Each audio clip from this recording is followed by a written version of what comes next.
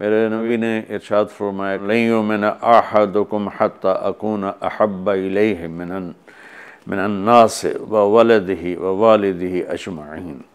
آپ نے فرمایا کہ اگر تم چاہتے ہو کہ تمہارا ایمان مکمل ہو، تو میری محبت اپنی ذات سے، اپنے والدین سے، اپنی اولاد سے اور پوری دنیا کے انسانوں سے مجھے سب سے زیادہ پیار دو گے تو تمہارا ایمان مکمل ہوگا۔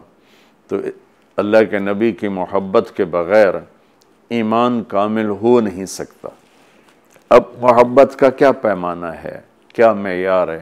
ایک ہم نے بنائے ہوئے ہیں، مختلف معیار بنائے ہوئے ہیں، عشق رسول کے، محبت رسول کے۔ لیکن میں وہ معیار بتاؤں گا جو نہ میرا بتایا ہوا نہ کسی اور کا، وہ میرے نبی کا بتایا ہوا ہے۔ کہ اللہ کے رسول سے پیار کرنے والے ہوتے کون ہیں؟ تو آپ وضو فرما رہے تھے۔ صحابہ آپ کے وضو کا پانی نیچے سے یوں بک بھر بھر کے کوئی پی رہا ہے کوئی منہ تے لا رہا ہے کوئی ہتھاں تے، کوئی سینے تے۔ تو آپ نے پوچھا، ما یحملکم علی هذا بھئی یہ کیا کر رہے ہو؟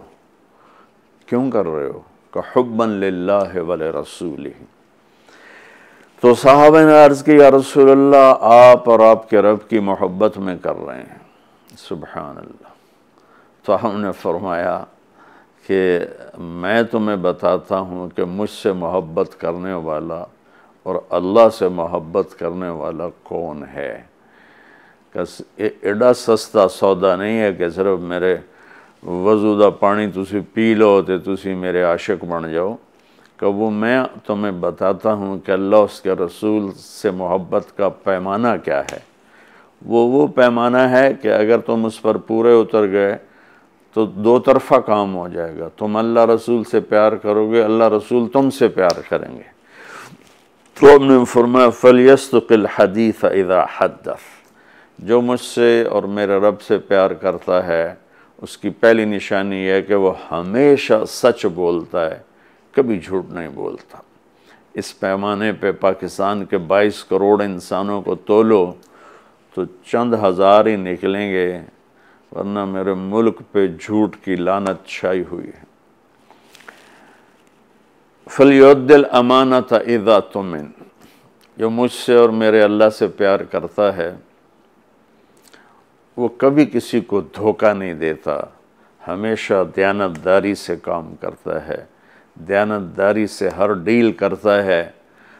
اس پر تولیں تو پورے پاکستان کے بازار، تجارت، سیاست ذمہ دارہ لین دین، دھوکہ ہی دھوکہ ہے، فراڈ ہی فراڈ ہے۔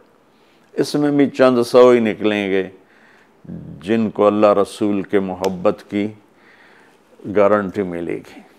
تیسرا فرمایا، فَلْيُحْسِنْ جِوَارَ مَنْ جَاوَرَهُ۔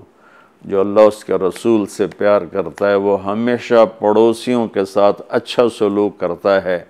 چاہے وہ مسلم ہوں نان مسلم ہوں، چاہے وہ اپنے ہوں، غیر ہوں، اچھے لگتے ہوں، برے لگتے ہوں، وہ ہمیں برا سمجھتے ہوں۔ لیکن اللہ اس کے رسول سے پیار کرنے والے کی تیسری نشانی یہ ہے۔ کہ وہ اپنے پڑوسیوں کے ساتھ اچھا سلوک کرتا ہے۔ یک طرفہ، وہ تا کر دے نہیں، اسی کیوں کریے؟ انہوں سانو کدی سلام نہیں کیتا، اسی کیوں سلام کریے؟ وہ سانو کدی پچھڑ نہیں آئے، اسی کیوں پچھڑ جائیے یہ عشق رسول کے دعوے دار تو ہو سکتے ہیں۔